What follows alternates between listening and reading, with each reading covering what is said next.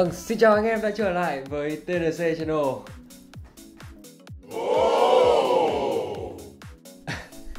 À, Mình biết là rất lâu rồi mình mới quay trở lại và làm video ở trên TDC để cho mọi người cùng xem. Nhưng mà thôi bỏ qua đi, chúng ta sẽ cùng vào vấn đề chính của ngày hôm nay luôn. Như các bạn có thể thấy trên tay của mình đây Đó là một cái hộp nhỏ nhỏ màu xanh da trời và trước khi nói bất cứ một điều gì thì các bạn hãy cùng mình xem một đoạn video ngắn đã.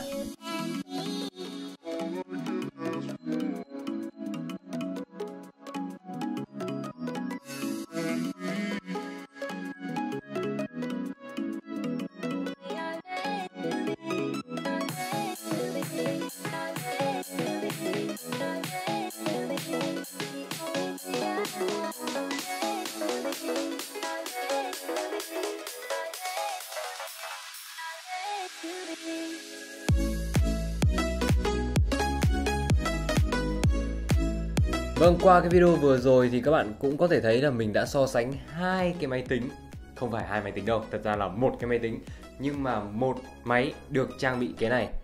Còn cái kia thì là không được trang bị. Và các bạn có thể thấy là cái tốc độ boot Windows có thể nói là quái vật như vậy.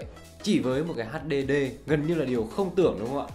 Nhưng mà Intel với cái giải pháp bộ nhớ đệm Intel Optane Memory đã hiện thực hóa điều tưởng như là không thể ấy lúc đầu thì mình cũng không tin đâu nhưng mà thật sự thì cái sự thật nó đã quá rõ ràng rồi phải không các bạn có thể là có nhiều bạn đã không còn lạ gì với cái tên Intel Optane nhưng thú thực là quãng thời gian mình tạm nghỉ là quá dài và đến giờ mình mới được tiếp cận với cái thứ công nghệ thú vị này nên quá phấn khích và làm luôn cái video này để gửi các bạn xem chơi. Hiện tại thì à, à mình nói rồi, trên tay mình đang là sản phẩm Intel Optane Memory, dung lượng là 16 GB. À, bây giờ mình sẽ mở ra xem bên trong có gì. Vâng, cái hộp này thì nó khá là đơn giản nhỏ nhỏ màu xanh có những cái thông tin ví dụ như là nó dùng cổng giao tiếp M2 kích thước là 80 mm à, PCIe 3.0 X2 bộ nhớ dung lượng 16 GB. Cái này khá thú vị khi mà các bạn cắm vào máy tính thì nó sẽ nhận như là một cái ổ cứng SSD có dung lượng khá là thấp chỉ 16 hoặc 32 GB mà thôi. Và bên trong chúng ta sẽ có đây Intel Optane Memory rất là nhỏ. Chúng ta có một con tem Optane Memory chúng ta có một cái tờ giấy kiểu handling, warning, tức là chúng ta sẽ phải nâng niu nó, chứ không được quăng quật. Dĩ nhiên rồi. Và bên dưới chúng ta sẽ có một cái sách hướng dẫn nữa.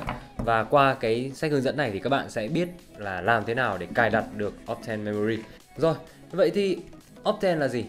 Theo từ điển Google Translate thì họ dịch ra Optane là quang, ý là quang học hay ánh sáng ấy. Tuy nhiên thì từ Optane phát âm khá là giống với từ often, có nghĩa là thường xuyên. Như vậy thì ngay từ cái tên được Intel đã khéo léo lựa chọn đã làm nổi bật lên được hai yếu tố chính làm nên cái bộ nhớ đặc biệt này. Đó là tốc độ nhanh như ánh sáng và hoạt động dựa trên những thao tác thường xuyên của người dùng. Đó chính là tính thông minh của bộ nhớ này. Và trước khi cùng bàn luận thêm về Intel Optane thì mình và các bạn hãy cùng thử nghiệm một chút với nó xem thế nào.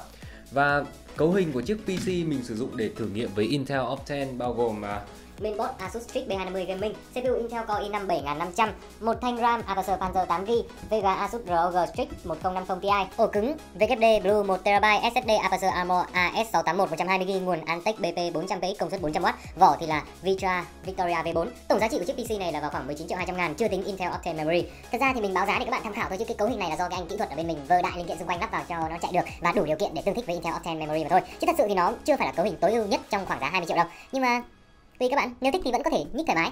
Trở lại với Intel Optane. Tại sao mình lại nói là đủ điều kiện để tương thích với nó? Thì hiện tại như các bạn đã biết, Intel Optane sử dụng giao thức NVMe cắm trực tiếp vào cổng M2 trên mainboard. Thế nên là điều kiện cần là main của chúng ta phải hỗ trợ cái thứ này rồi. Còn điều kiện đủ để chạy được Intel Optane đó chính là chúng ta phải kết hợp nó với CPU thế hệ thứ 7 trở lên mới có thể hoạt động được. Rất chia buồn với anh em đang sử dụng à, 6XX trở về xuống À, nhưng mà tin vui là thế hệ Coffee Lake đã ra mắt rồi. Thế nên là sớm muộn gì Coffee Lake cũng sẽ có mức giá dễ chịu hơn mà thôi. Lưu ý một chút là chiếc PC mình build để test này được cài đặt hệ điều hành lên một phân vùng của ổ HDD chứ không phải là cài hệ điều hành lên SSD nhé SSD chỉ là để tham chiếu tốc độ đọc ghi mà thôi trên internet thì cũng đã có khá nhiều đơn vị làm các thể loại test từ trên rời xuống dưới bể rồi nên chắc là anh em mình sẽ làm đơn giản thôi. Đầu tiên là mình sử dụng Crystal Mark, phần mềm benchmark ổ cứng khá quen thuộc với chúng ta rồi. Với HDD giao lưu phối kết hợp với cả Intel Optane cho ra tốc độ đọc có thể nói là kinh hồn bạt vía với đỉnh điểm lên tới 929 m trên giây. Tốc độ ghi thì cũng ờ, không hơn nhiều nếu so với không có Intel Optane, chỉ khoảng 150 m mà thôi. Bên phía SSD thì đọc cũng khiếp đấy, nhưng chỉ là già nửa so với HDD có Intel Optane mà thôi. Còn nếu test riêng trên HDD không kèm Optane thì um, thôi mình chả nói nữa đâu. Các bạn nhìn biểu đồ là thấy nó thế nào rồi ha. Mình cũng thử bằng một phần mềm khác, đó là công cụ Dish Benchmark tích hợp trong IDA 64. Kết quả thì cũng rất ấn tượng khi so sánh tốc độ đọc của HDD kèm Optane so với SSD thông thường và dĩ nhiên riêng HDD không thì vẫn lẹt đẹt như vậy. Đó, anh em ta test đơn giản vậy thôi là đủ hiểu Intel Optane mang lại khả năng gì rồi đúng không ạ? Đặc biệt là với cái bài test khởi động Windows ở đầu video các bạn có thể hình dung rất rõ sự khác biệt khổng lồ mà Intel Optane Memory mang lại. Đó là tốc độ truy xuất dữ liệu tầm cỡ quái thú chỉ với ổ cứng HDD. À, ờ, mình nói đến đây thì chắc chắn là sẽ có nhiều bạn bị comment kiểu là tưởng gì thế thì mua SSD luôn cho nó lành. Ừ, cũng đúng. Nhưng đó là với nhu cầu đơn giản của một vài người không cần xử lý những cái tác vụ tương đối với khối lượng dữ liệu nặng nề.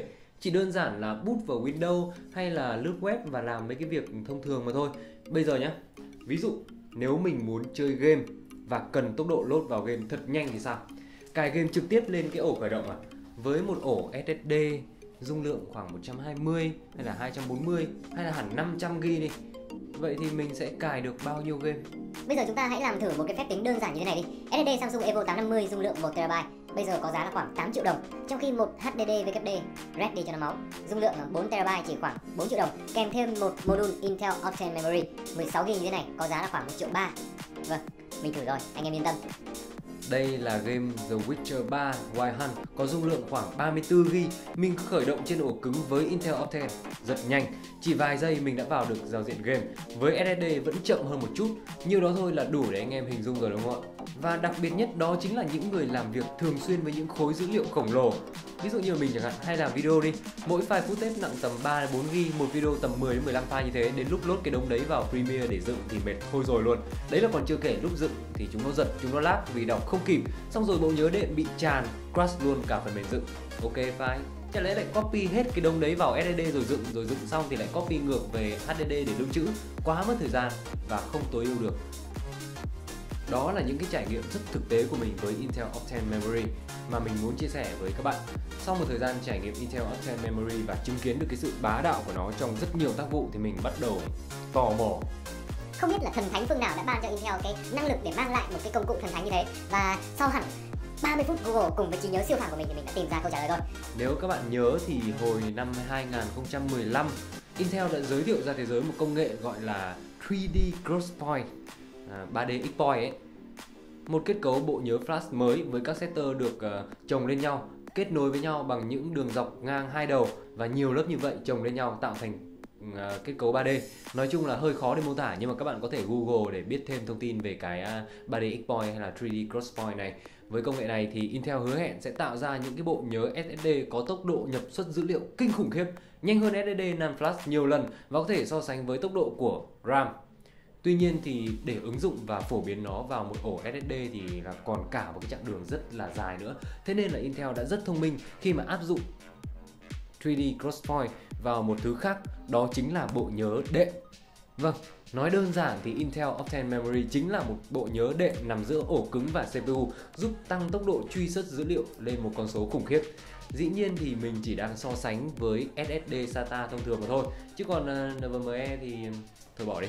Intel Optane hướng đến đối tượng sử dụng khác mà đúng không? Nếu các bạn để ý thì những cái ổ cứng HDD khi mà chúng ta mua thì sẽ có cái thông số bộ nhớ đệm là 16, 32 hay là 64 MB gì đó đúng không?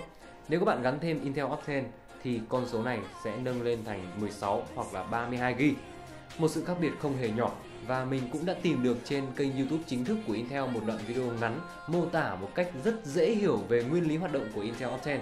Ví dụ nếu tác vụ mà các máy tính của chúng ta cần xử lý là một cái bánh pancake đi thì người làm bánh sẽ chính là CPU, căn bếp với các dụng cụ nấu nướng sẽ là các linh kiện máy tính như là VGA hay là RAM hay là gì gì đấy vân vân. Còn nguyên liệu để làm bánh sẽ chính là các dữ liệu đầu vào để CPU xử lý. Mỗi khi muốn làm bánh thì chúng ta sẽ phải đi đến cửa hàng tạp hóa có tên là ổ cứng để mua nguyên liệu, sau đó thì lại chạy về vào bếp mà làm. Cứ như thế rất là mất thời gian đúng không ạ? Dĩ nhiên là có nhiều cách để chúng ta có thể làm bánh nhanh hơn Ví dụ như là mua thêm dụng cụ làm bếp xịn hơn chẳng hạn nhưng mà cách này thường đắt đỏ và không hiệu quả rõ ràng cho lắm, kể cả khi đầu bếp của chúng ta có siêu xịn đến như thế nào. Chính vì thế thì Intel đã làm ra Optane Memory với vai trò như là một cái tủ đựng sẵn nguyên liệu đặt ngay trong bếp để chúng ta có thể luôn sẵn sàng làm bánh bất cứ lúc nào. Tùy theo loại bánh mà chúng ta thường hay làm, cái tủ này sẽ có một anh trợ lý giúp chúng ta nhặt sẵn những cái nguyên liệu cần thiết cho loại bánh đó từ cửa hàng về và để sẵn trong tủ. Anh trợ lý này thì chính là phần mềm thông minh của Intel giúp phân loại những dữ liệu thường xuyên sử dụng và nạp sẵn vào Optane Memory. Ví dụ như là những tệp khởi động của Windows chẳng hạn. Đó là lý do mà Intel Optane giúp cho máy tính của chúng ta khởi động nhanh đến như vậy chỉ với HDD thông thường. Vâng, vừa rồi thì mình và các bạn đã cùng nhau tìm hiểu một chút về Intel Optane Memory, một công cụ cực kỳ mạnh mẽ và hữu ích giúp cho những cái ổ cứng HDD chậm chạp của chúng ta đạt được một tốc độ trong mơ. Và nếu bạn muốn được trải nghiệm miễn phí sản phẩm này trong vòng một tháng thì hiện tại TNC Store đang phối hợp với Intel Việt Nam triển khai chương trình dùng thử miễn phí Intel Optane trong 30 ngày. Nếu mà không ưng thì các bạn hoàn toàn có thể trả lại và không mất bất cứ một cái khoản phí nào cả dĩ nhiên là trừ trường hợp các bạn à, hấp diêm em nó ghê quá đến à, què quạt ra đấy thì mình không biết đâu nhé còn bây giờ thì như thường lệ, nếu các bạn thấy video không hay thì anh em cứ bấm thoải mái nhưng mà nếu hay và hữu ích thì đừng quên like video cũng như là đăng ký TNC Channel để chúng ta còn được gặp nhau nhiều hơn nữa trong tương lai. Xin chào và hẹn gặp lại các bạn trong những video tiếp theo.